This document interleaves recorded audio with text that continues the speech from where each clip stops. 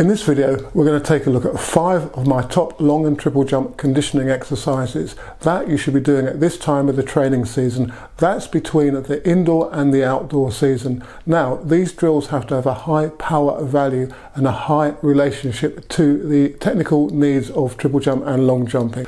They all have a high power input and an emphasis, as I shall explain, on eccentric capacity this one is more specifically aimed at the long jump, although it can have a benefit for triple jumpers as well.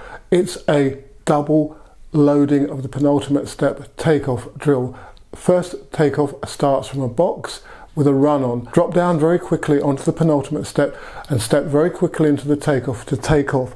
Land, step again into another takeoff, so that's after three steps again, making sure that you do the penultimate step movement again.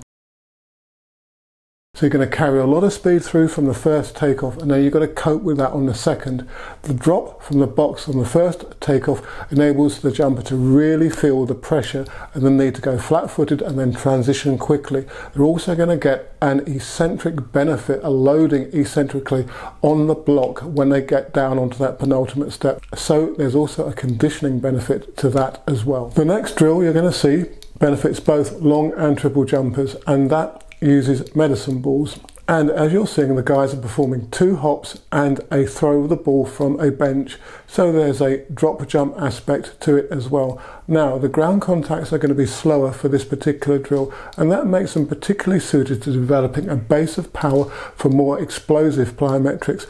Also the contact may be more akin to those in the triple jump albeit I still think they're going to be a little bit slower than what's required. We use these medicine ball drills and others similar to provide a base of power for more explosive plyometric exercises. Thirdly, we've got the hurdle jump and platform combination bounds. Drop down from a low platform over a hurdle, forwards onto a platform, over a hurdle, so on and so forth.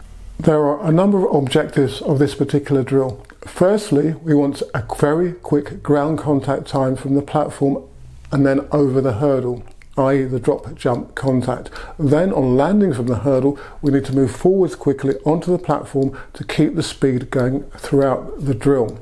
As I said in my ground contact video, link on screen now, it's all about trying to maximize the rate of force development for ground contacts and not training beyond a range that is going to have a detrimental effect on your jump performance. If the hurdles, for example, are too high, then that can slow the contacts and reduce the transference into actual event performance, which at this time of the training year you just don't want.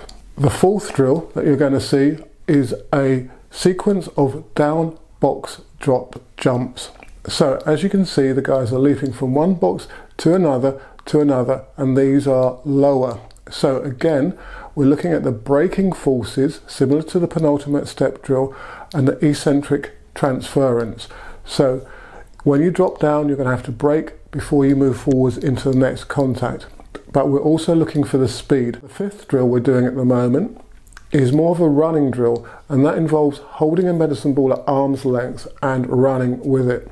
Now that is going to strengthen the core, it's also going to throw the emphasis onto the legs and in particular the hips in order to spin the legs round which is crucial for developing sprint speed. Also, the fact that the ball is out in front of the body is going to bring down more force into the ground contact.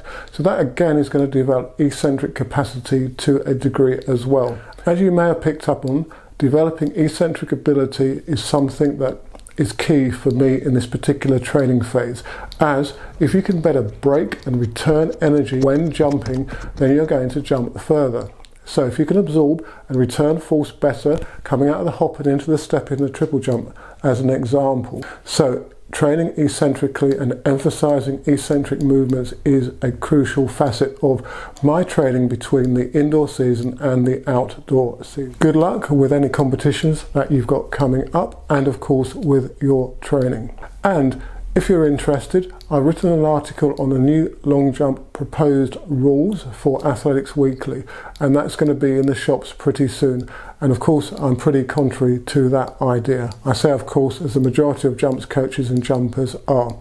What do you think about it? If you've got any comments, then do leave them in the section below as well. And if you're interested in the Freelap timing system, accurate to two one thousandths of a second and extremely portable, then do drop me a message. I've had quite a few coaches contact me talking about or referring me rather to various issues that they have with some of their jumpers. Now obviously I can't answer all of them. I try to as much as I can in these videos, but there are much more detailed analyses in the coach athlete videos in the members area of the channel. There are now over 40 videos that deep dive into the subject matters that will hopefully make you a better coach. So do head over to the channel's homepage and click on the membership button to see the coach athlete offering.